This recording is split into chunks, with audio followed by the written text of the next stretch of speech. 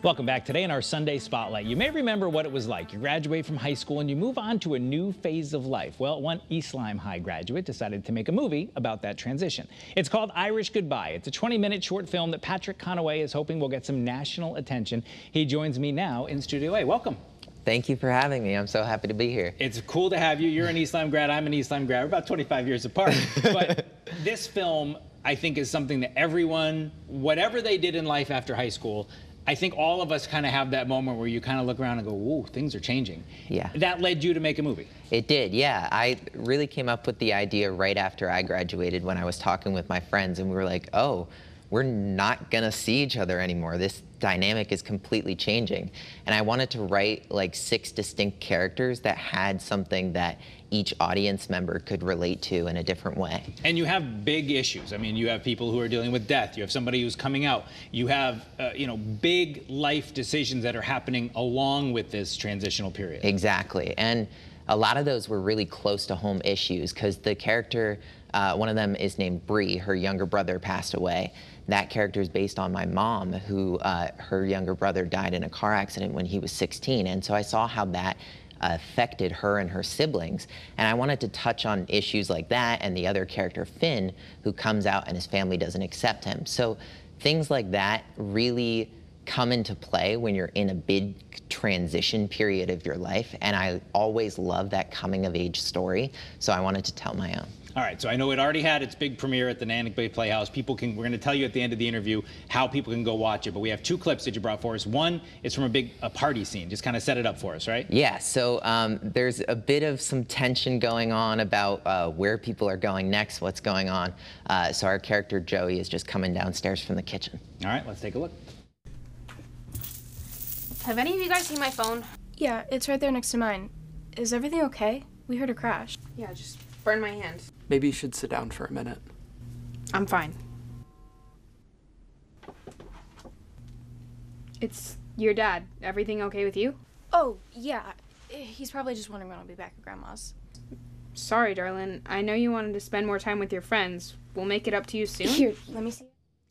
So you can see a, a, tough moment there between those two characters. It's beautifully shot and put together. Um, all local, a lot of local people in there. Yeah. So my director of photography was Isabella Bogue, who not only went to East Lyme with me, but also goes to Ithaca now.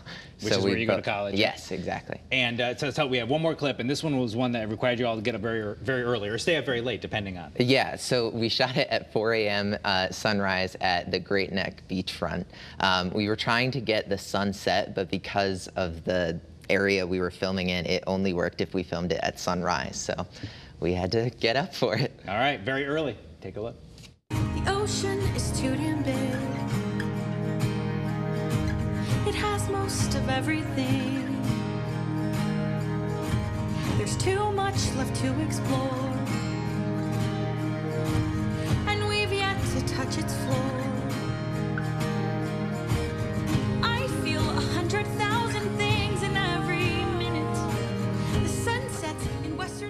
Pretty cool, and uh, a lot of people recognize a lot of it filmed in this area. So yeah, we're all exactly. filmed in this area. Uh, I know you did East Regional Theater stuff at the Playhouse. You did stuff at East High School as well. Uh, what's next for you?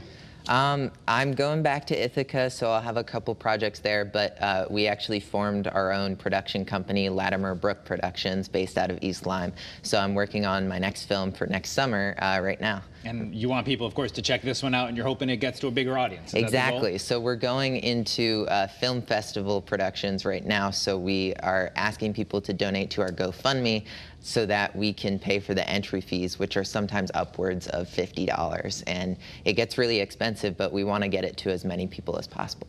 All right, we're going to put it up right now to give you uh, the information how you can help that GoFundMe. Uh, if you want to learn more about Patrick, you can also read Kristina Dorsey's great article in the New London Day. That's how I found it, um, and it gives more information about the you and about the project and about how people can watch it's great stuff. Uh, I love seeing a local kid put something like this together. It was really great to watch, and it's you know, what 25 minutes? Uh, 20 minutes. 20 yeah. minutes. So you put it together, you watch for 20 minutes, and uh, you can say, hey, look, a, a, local kid did something cool. Patrick, thank you so much for being with us, and we hope it's a big success. Thank you for having me. I appreciate it. All right, if you want to watch the film, you can point your cell phone. We got a lot of QR codes today. You can point your cell phone at the screen. There's a QR code there. You can also help Patrick to raise funds to enter the film into film festivals. There's a link there for that as well. We'll put all of it as well on our website, of course, WFSB.com.